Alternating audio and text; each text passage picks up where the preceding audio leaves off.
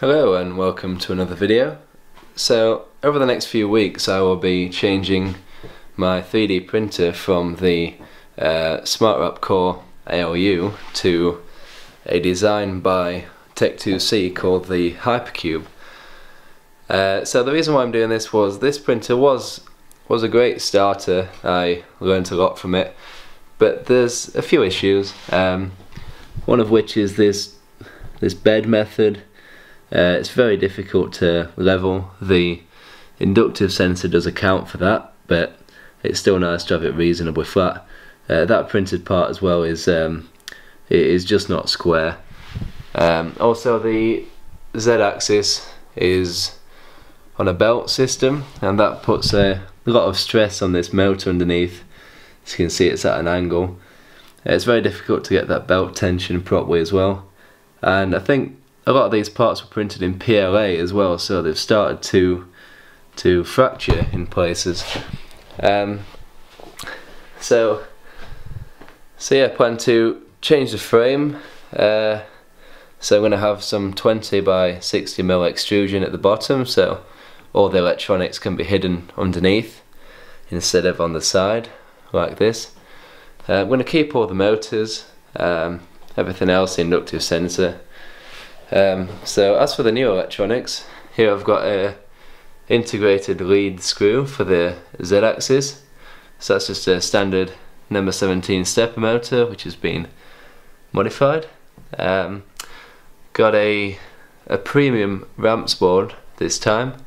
Uh, exactly the same method as others but uh, this has things like some high quality connectors and Toshiba MOSFETs for the heated bed so hopefully it shouldn't get too hot.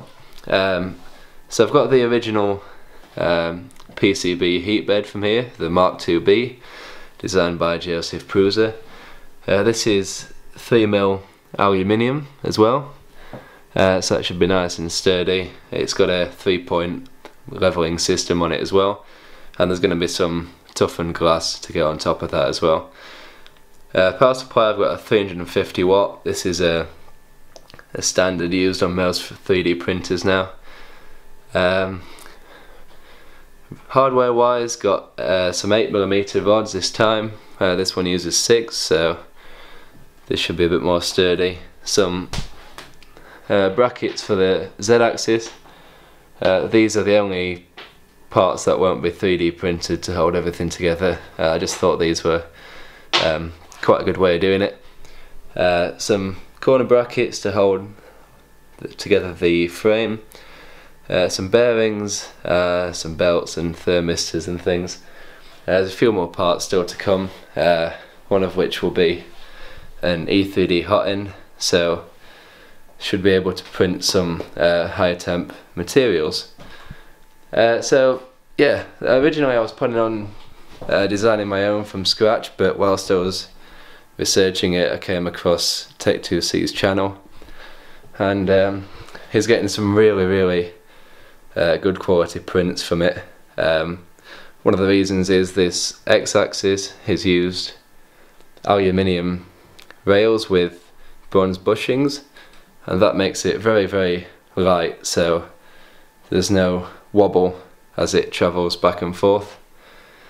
Um, so I think it'll be a very good, very good basis to um, to uh, design my own parts in future. So he's done some great work. Uh, so check out his channel. I'll leave a link for it in the description.